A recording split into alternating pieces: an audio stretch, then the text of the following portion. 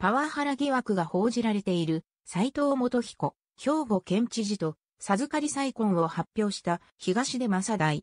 二人について女性セブンの名物ライター、おば記者こと野原博子が綴る。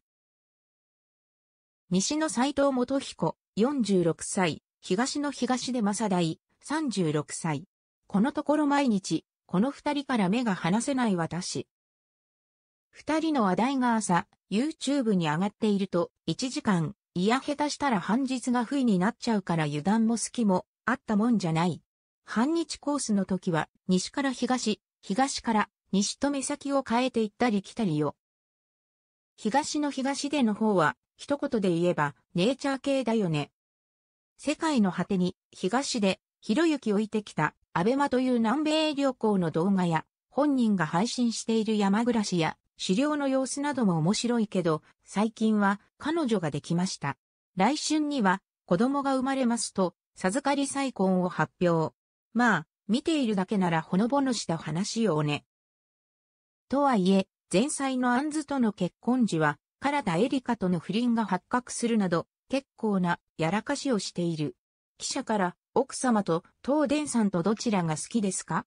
と聞かれて、それは妻を傷つけることになるから答えられませんと、テレビカメラの前で言っちゃった。あの時私は、嘘だろ、おい。とテレビに顔をくっつけたもんね。じゃあ、どう答えれば、結婚生活が続いたか。と私は考えた。そんなこと、決まってますと毅然と言って、あとはだんまり。これしかなかったんじゃないか。再婚相手の松本かりんさん、25歳も狩猟免許を持っているというし、太い眉からして肝が座った女性に見える。出産しても山暮らしを続けるそうだけど、さあ、どうなる？それにしても、東での報道で一つだけ違和感があるの。授かり婚という言い方よ。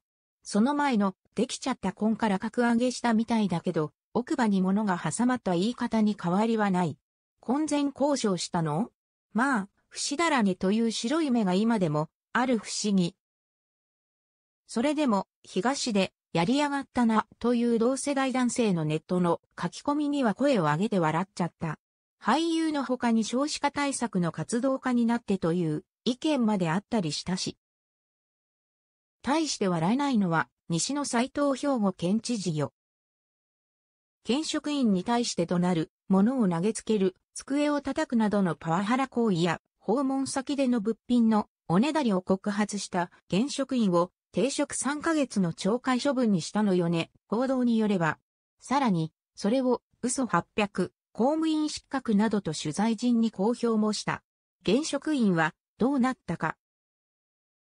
聞かれるたびに、斉藤知事は、それはもう、心からお悔やみ申し上げますと、書いたものを読むような口調で言う。それを聞くたびに、この人、普通じゃないと、背筋が寒くなるの。